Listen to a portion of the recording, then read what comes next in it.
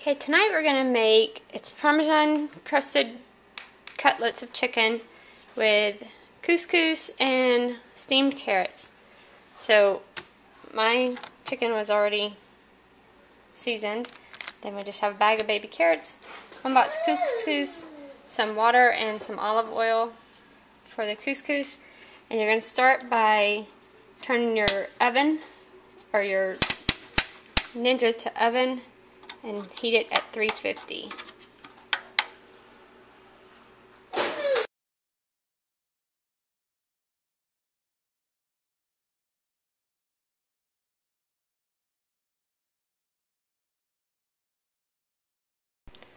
Okay, my couscous says to use one and a fourth cups of water. So I'm going to pour that in there. And then it says like two tablespoons or something of olive oil. I'm just going to pour a little bit in there. Next, just pour in your box of couscous and then you'll open your season packet and pour that in there as well.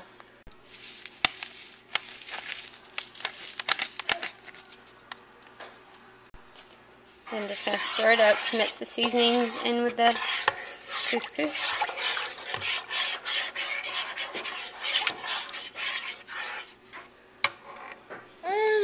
My sous chef. Are you helping mommy? You showing off those new teeth? You want to show your new teeth? Nine. Hands up. And you're going to put your rack in there. And I use cooking spray just to spray it so my chicken won't stick. Then you put your chicken on your rack. Next, I'm just going to put my carrots on my rack.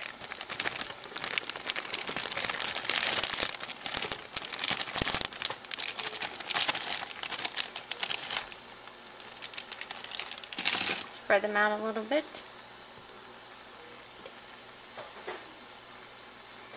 And then I'm going to cover it and check it after 9 minutes. Okay, so we've checked it after 9 minutes and put a little thermometer in there and it's not done yet. It looks like it still has a ways to go, so we're going to do it for another 9 minutes and check it. Okay, so it's been a total of about 25 minutes. It's really important you make sure that your chicken is cooked thoroughly.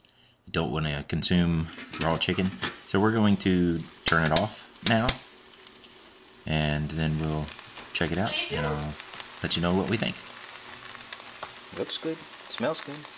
Okay, so our Parmesan crusted chicken didn't really turn out as crusted as we would like. It's hard to crust uh, chicken in the Ninja when you're cooking with steam.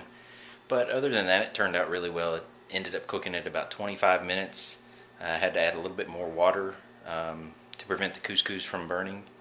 But uh, it turned out pretty good. You know, we're experimenting with this Ninja. Um, some recipes turn out great, some don't. Some, you know, don't turn out like we planned, but they still taste pretty good.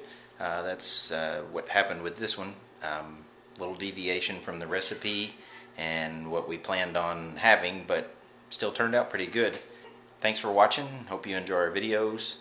Uh, and give it a thumbs up if you uh, liked it. Thanks.